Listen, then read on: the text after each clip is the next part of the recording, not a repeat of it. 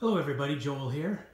So yesterday morning on my way to work, I came out into the garage and it was pretty chilly and I think the heater stopped running. At least that's what I thought yesterday, but I had to get to work so um, I figured I would take a look at it today and I'll take you along for the ride of just having a look and see what the troubleshooting process will be for this gas-fired garage heater. So I come over to the thermostat. This is usually the first place you want to check. And I've got no power to the thermostat. So this thermostat is just a two-wire thermostat up to the unit. And if I recall, it probably has a battery in it. So that'll be the first thing that we check out to see if the battery is good in the thermostat. Okay, so we'll pull the thermostat off. It should just pop right out. There we go.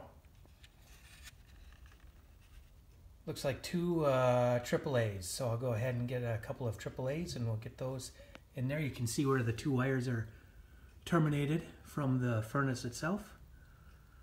Let's replace these batteries.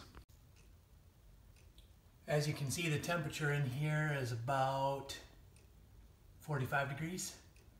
A little cooler than we usually keep it. I like to have it at about 58. Um, 58 degrees, depending on what the temperature is outside. We've had some chilly nights the past few nights, actually single digits.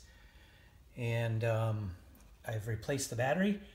Uh, one thing about these digital thermostats, uh, you do have to have the battery power, obviously, to make them run um, because there's no power coming from the furnace. It's just uh, basically an on-off switch uh, controlled by the temperature in the room.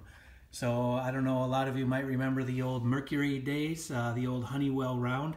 Probably one of my favorite thermostats. You could use that thing was bulletproof. Um, you didn't have to have any power, no batteries, just a two-wire switch with the bubble of mercury in it. I understand the troubles with mercury, but um, those were the good old days. So let's go ahead and put this cover back on.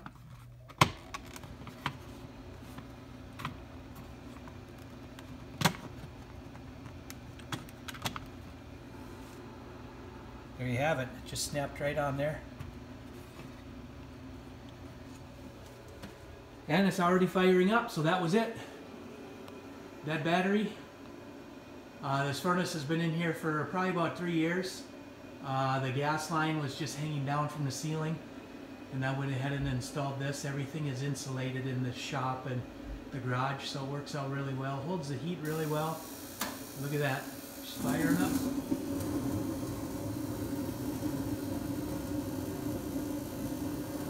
Well, there you have it. Thanks for watching, and we will see you all on the next one.